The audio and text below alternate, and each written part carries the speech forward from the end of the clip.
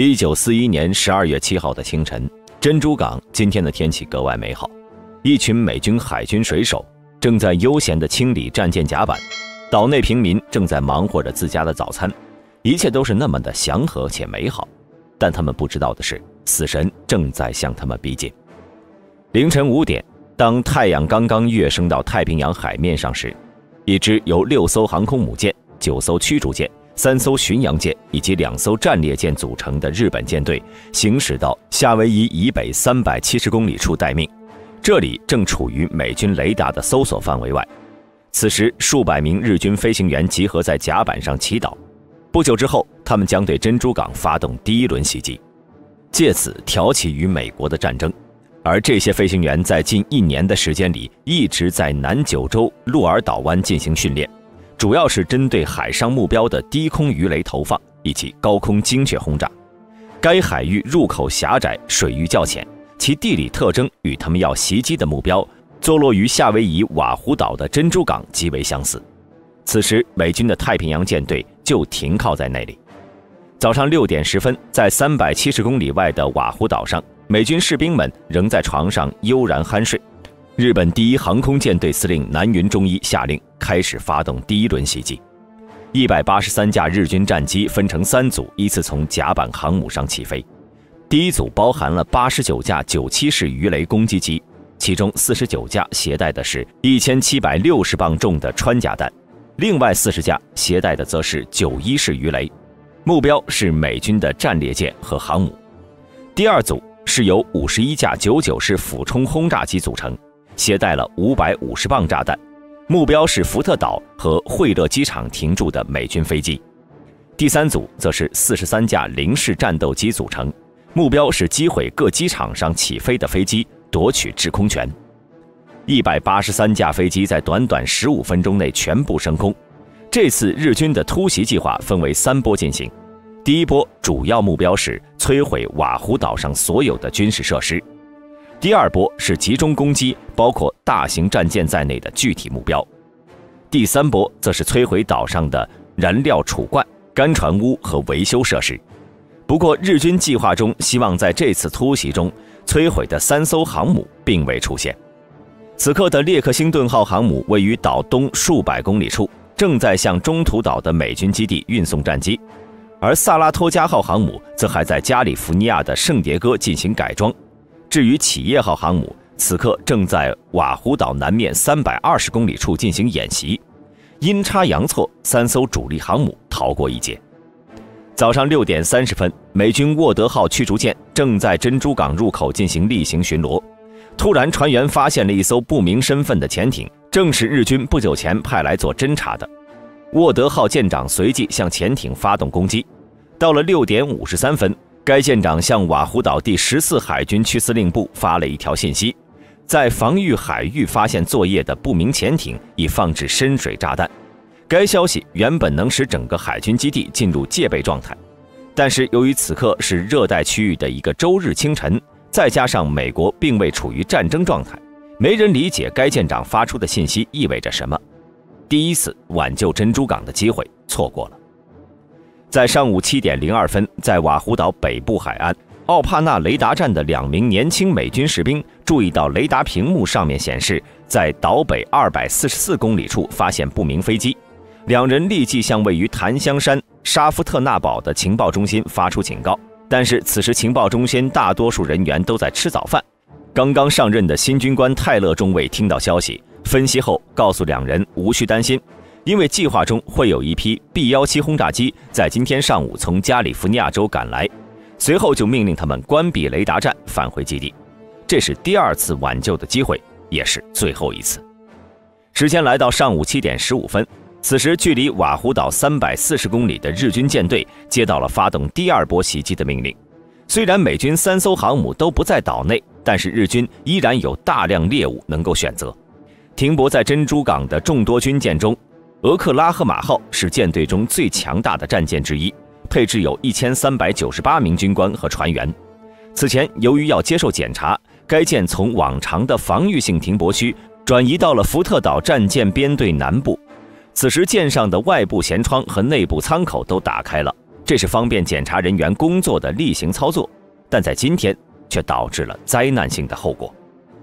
上午七点三十五分，从东部海岸飞抵至瓦胡岛时，由于岛上山脉的遮挡，造成了盲区，美军雷达并未捕捉到第一波日本战机，导致其进入岛内时完全没有被发现。这一点对于山本的计划来说是必不可少的。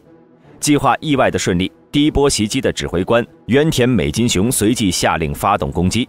上午七点四十分左右，日军九七式鱼雷攻击机以三百七十公里每小时的速度快速掠过。渊田拉开了九七式的座舱盖，向外发射了一枚绿色照明弹，而这正是进攻的信号。不过机队其他人员并没有看见。随后渊田又发射了一枚。这使得部分机组误解为执行发射两枚信号弹时的作战计划，导致日军机队并未按照演练时的顺序进攻。不过，这对整场袭击并无影响，因为此时的美军还未组织起有效的抵抗。在发射信号弹到首枚炸弹投下之前，渊田就向指挥部发出了无线电信号“虎虎虎”，通知南云舰队偷袭成功。由于此时的美军还处于混沌状态，几乎没有什么反抗能力，日军机队开始分开执行预定的任务。原本零式战斗机是要先摧毁美军的战斗机，以此保护自家的轰炸机，但是由于空中没有美军战机，随即也转入了攻击机场的行动。在七点四十八分左右，日军机队开始攻击机场。当时情报里，惠勒机场驻有五十架 P 四零和 P 三六，在首次打击中就被摧毁了近四分之一。机库和兵营也都被炸弹摧毁，整个机场彻底失去了反击能力。至于西干姆机场，则是美军轰炸机的基地，当时停放有大约七十架轰炸机，其中十二架为 B 幺七飞行堡垒，其遭遇和惠勒机场大致相同。在七点五十八分，罗根·雷姆塞上校在福特岛开始向港内发出广播：“珍珠港受空袭，这不是演习。”这消息之后呢，由太平洋司令部发出，然后传到了华盛顿。总统与国务院收到消息时，已经是当地时间下午两点了。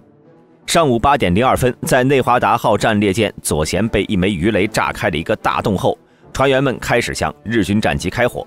亚利桑那号上的炮手和停靠在旁边的维斯塔尔号修理船也开始还击。之后，随着左舷被鱼雷击中，加利福尼亚号战列舰开始下沉。上午八点零八分，此时此刻，日军的九九式高空轰炸机在三千米高空投放了延信穿甲弹。日本空军少尉金井本投放了一枚重达八百公斤的炸弹，精准击中了亚利桑那号。紧接着，舰上的弹药库被引爆，爆炸产生的蘑菇云冲到了一百五十米的高空，亚利桑那号舰体严重扭曲变形。不到九分钟，战舰与一千一百七十七名士兵一同沉没。之后，距离不远的俄克拉荷马号成为了日军下一个攻击目标。随着被几枚鱼雷接连击中，恐怖的爆炸将它的船体撕开了一个大洞，大量的海水迅速涌入。八点十四分，船体开始倾覆。此时还有四百多人被困在船内，距离近一点，甚至能够听到他们拍打船体的声音。而救援人员努力又绝望的搜救工作一直进行到了深夜。八点五十分。日军中校岛崎重带领着第二波飞机从北边抵达战场，开始打击瓦胡岛对面的军事目标。虽然岛内多个机场的美军战机试图起飞对抗日军，但是都基本被击毁在跑道上。如果说首轮袭击造成了美军瞬间混乱，那么第二波袭击则是让美军完全混乱起来了。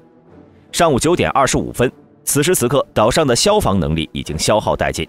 停靠在干船坞的消耗驱逐舰被三枚炮弹击中，大火燃遍战舰全身，美军对此却无能为力。上午九点三十分过后，进攻开始减弱。当最后一架日军飞机消失在海平线上时，大火蔓延到了该舰的前置弹药库。随着一声巨大的爆炸响彻夏威夷上空，日军的袭击以美军遭受毁灭性打击而结束，珍珠港陷入了一片火海。美军曾经强大无比的太平洋舰队损失惨重。上午十点，第一架日本飞机正式返回位于瓦胡岛以北三百公里处的航母，第二波战机紧随而至。虽然首波袭击的指挥官美金雄请求发动第三波袭击，但是南云忠一却拒绝了他的请求。由于不知道美军航母的具体位置，他担心日军舰队被发现后会遭到空袭，并不想冒这个险。随后下令撤退。至此，日军对珍珠港的袭击正式结束。截至一九四一年十二月，美国太平洋舰队共有十二艘主力舰，其中九艘战斗舰和三艘航空母舰。在被袭击时，珍珠港共有九十六艘船只。空袭持续的近两小时内，被瘫痪了八艘战列舰、三艘巡洋舰、三艘驱逐舰、八艘辅助性船只，合计共三十万吨。完全被摧毁且不再使用的有亚利桑那号战列舰、俄克拉荷马号战列舰，以及靶舰犹他号战列舰。其余战舰花费了一年多时间才陆续打捞出来，之后便纷纷投入太平洋战场，只有几艘重建的船只休止战争末期。岛上全部的三百九十架战机中，一共被摧毁了一百八十八架，其中九十二架属于海军战机，九十六架属于陆军航空军机，另外受损了一百五十五架，分别是一百二十六架陆军机和三十一架海军机。其中以卡内奥赫和艾瓦机场受损最为严重，两个机场共有八十二架战机，仅有一架战机在被袭击后保有升空能力，而美军人员伤亡则为两千四百零三人阵亡，一千一百七十八人受伤。一些军事历史学家认为，如果日军坚持进行第三波攻击，对美国的打击会更加巨大。若发起第三波攻击，有可能彻底摧毁珍珠港，使其丧失基地功能。美军舰队必然会撤回本土，预估将会使美军对太平洋的反攻推迟一年。美军后来的太平洋舰队司令尼米兹上将认为，这将延长太平洋战争两年。总结来说，偷袭珍珠港对美国太平洋舰队造成了毁灭性的打击。此后半年内，日军几乎控制了整个东南亚太平洋西南部海域，在二战初期的太平洋战场是占尽优势。而这次袭击也彻底让美国实质性的参战。同时，因为美军的主力战列舰被击沉或者瘫痪，客观上迫使了美军大量生产航母和舰载机。某种角度来说，加速了战列舰退出历史舞台的步伐。随着美国的正式参战，太平洋战争彻底爆发。日军因为推进过快、战线过长，对自身补给和后勤压力所带来的巨大隐患快速显露。可以说，偷袭珍珠港从开始的那一刻，就一定注定了日军的快速失败。好了，今天的故事讲到这里，咱们下期视频不见不散。